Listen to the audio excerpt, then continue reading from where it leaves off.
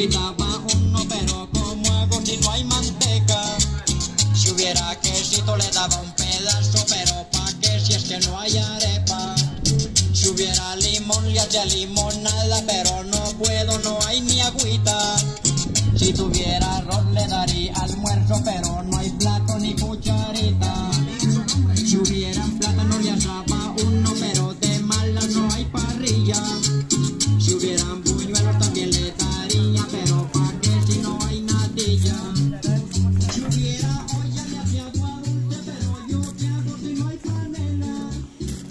there.